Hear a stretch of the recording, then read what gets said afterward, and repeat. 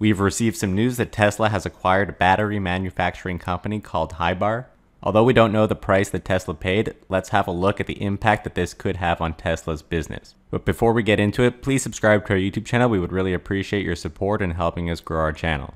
So Hibar Systems Limited is a small Richmond Hill company in Toronto, which is part of the GTA, the Greater Toronto Area, but they do have facilities in China and Germany. Apparently, Tesla registered this acquisition on October 2nd as a subsidiary, but they could have purchased it months before without anybody realizing. Now, Hibar manufactures a ton of different components for battery production. They produce precision dispensing pumps and filling systems. They do complex high speed integrated battery assembly lines and high performance custom engineered packaging systems. They try to automate assembly systems as much as possible. And part of their latest technology offerings is an advanced automated vacuum filling system for lithium ion battery applications. So that's perfect for hybrid vehicles, but also uh, for laptops and notebooks. And they're probably going to be applying it to fully electric vehicles now that Tesla has purchased the company. Hibar also has decades of technical expertise. They say that innovation is a core competency built on solid mechanical and electrical design capability. So Hibar definitely has a unique ability to move quickly from concept to prototype to final production, uh, and they have a proven reputation of providing their customers with high performance systems uh, at very good prices. So I think that's exactly what Tesla wants. Uh, someone who will move quickly in the field of batteries. By combining Tesla and Hibar, they can expand at a faster pace uh, using Tesla's resources, uh, Tesla's own expertise, and also Tesla's drive to push the battery industry further. Plus, Hibar will essentially have a giant customer, which is Tesla itself, putting their products into Tesla vehicles later in the supply chain. Hibar has a patented pre-fill system that enables the system to efficiently fill cells with accurate amounts of electrolyte. The system also minimizes the required amount of dry room space and its robust design also means low maintenance and high production efficiency. So I think these are all qualities that Tesla is looking for when they build their manufacturing facility, their gigafactories, they do look for uh, the smallest amount of room space, and that way they can put things in a more compact area. They can fit more production capabilities in a smaller space, and that saves them a lot of money. So these are Hibar's lithium ion batteries. They say that they have vacuum filling systems for producing up to 120 cells per minute on a single line. And the interesting thing is, is, that they can easily change to do different cell sizes. So I think that's right up Tesla's alley. Instead of buying batteries or buying manufacturing lines, Tesla is going uh, right to the company making those high efficiency manufacturing lines and pushing them to make more batteries faster in a smaller space with less waste. Hibar automates the entire process of filling batteries up with the jelly electrolyte used in lithium ion batteries. They do automatic cell loading into carrier boats they automatically transfer these to the vacuum fill module, and then they verify the weights before and after they put the electrolyte into the cell. They also have an automatic programmable vacuum filling sequence. Finally, they do the automatic unloading of the cell, but they can also reject the non-conforming ones. So from the Hibar website, they also have other modules for cylindrical lithium ion cells. These are cells that Tesla uses, and you saw in the previous photo that they are using cylindrical cells. They have a jelly roll insertion module, a beading module, tab sensing and welding module, a benchtop filling equipment for laboratory development, sealant application module, tab welding and seal placing module, and a die crimping module. So it sounds like they have some patents and ideas to speed up the battery production and make it more efficient, uh, which Tesla can use and perhaps apply it to its existing manufacturing lines, but those are owned by Panasonic. So they would likely use Hibar to make their own assembly lines using Hibar technology. And Hibar has all of these patents for technology and also expertise in building automated systems. So I think also all of these modules will come together to produce the lithium ion cells from all the different perspectives uh, that are required uh, to produce a cell from just the raw materials to, to the final product.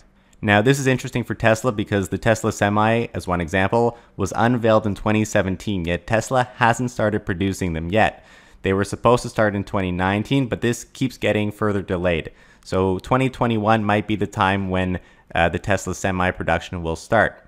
One of the biggest bottlenecks or things holding back production of these new vehicles is the lack of battery production. So we're not sure yet what the capacity of the semi battery will be, but we know this large truck carrying 80,000 uh, pounds can do 300 or 500 miles on a single charge. We also know for the Roadster, it's going to have a 200 kilowatt hour battery pack. So that's for the Roadster, that's double the size of the largest Model S battery, the, the 100 uh, kilowatt hour battery.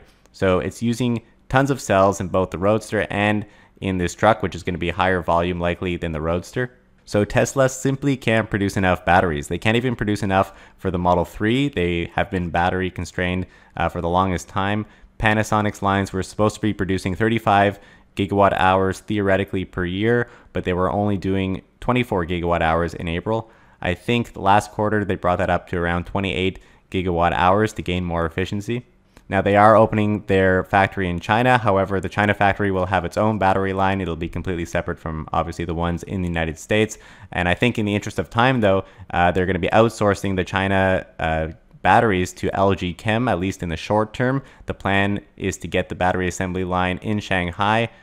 And again, that is going to be separate from North America, which is where Panasonic is working in house with Tesla to produce battery cells. But just think how many cells will be needed for the Model Y. Tesla will need to more than double their current battery capacity. So also, they were saying that the energy division was living off of scraps because they can be less picky on which cells go into the Powerwall, the power pack, or the Megapack, etc.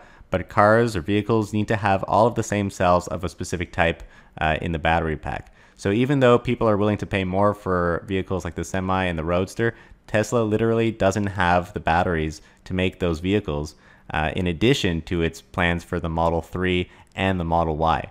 According to Elon, more battery capacity is going to be coming online just in time for the Model Y, but Tesla will still be battery constrained, and that might push back uh, the the production of the Roadster and the Semi and even the pickup truck to later dates. Now, Elon has said a couple times that Tesla may get into the mining business, uh, which would be a good move in order to vertically integrate themselves all the way from the raw materials to the final production of the vehicles uh, that uses the batteries that they can make. They would also have full control over the supply chain and be able to have a better handle on fixing bottlenecks and doing things to speed up the rate at which batteries and therefore the vehicles uh, that they can produce. It's kind of funny actually because mining isn't really the greenest of operations, but it's going to be necessary to make batteries, at least until there's enough recyclable material out in the field, which there probably will never be. But we have also heard recently that Tesla has been in talks with a Brazilian company to supply lithium to the company, so I guess that might be what they mean when they're getting into the mining business. But again, they can only launch new vehicles like semi, roadster, and pickup when the batteries are there. There's no point in revealing the pickup truck, for example, if you're just going to give away all your secrets to your design and not be able to produce it for years because you're short on batteries.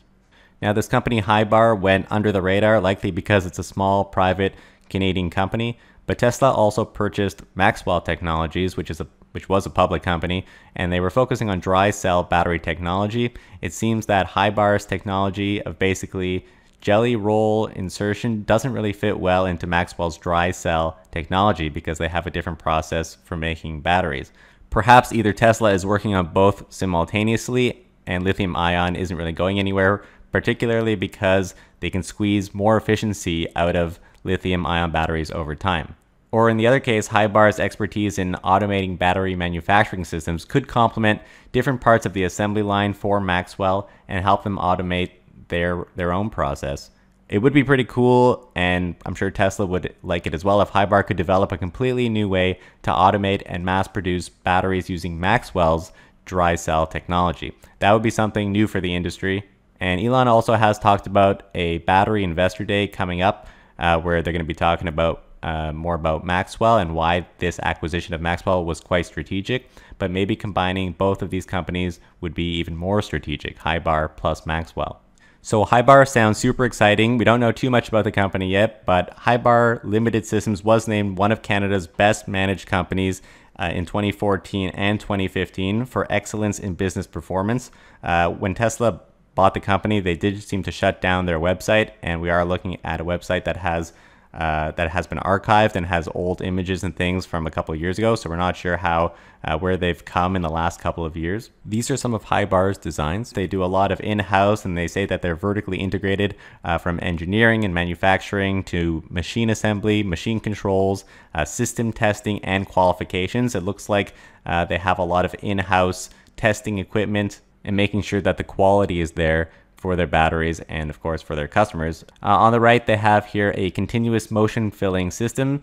They seem to design all of these systems themselves in-house. And they also have a whole slew of different types of liquid fillers and other manufacturing components for injecting electrolytes into uh, the battery cells. So overall, I think this acquisition will help Tesla build its own batteries and more of them. Tesla definitely needs all the batteries that they can get. Uh, they spent a lot of time on the Gigafactory and building cars quickly, but the real bottleneck has been batteries. So I think it's time for them to take the same approach that they use for mass producing cars and take mass battery production seriously. That will actually be the key for them to produce more vehicles and more different types of vehicles and launch uh, new designs that they have such as the Tesla pickup. So we don't know exactly the size of the acquisition, but I think uh, this one is actually going to be more exciting than Maxwell. Uh, this seems like a way of accelerating lithium ion technology for starters, maybe applying the techniques to Maxwell as well, but it will help Tesla quickly get more batteries out, which I think speeds up the timeline for Semi, for Roadster, for Pickup, which are three super exciting vehicles uh, that just got their timelines moved up, in my opinion. Hope you enjoyed this video. Thank you so much for watching. Please subscribe to our YouTube channel. We would really appreciate your support in helping us grow our channel. And don't forget to smash that like button.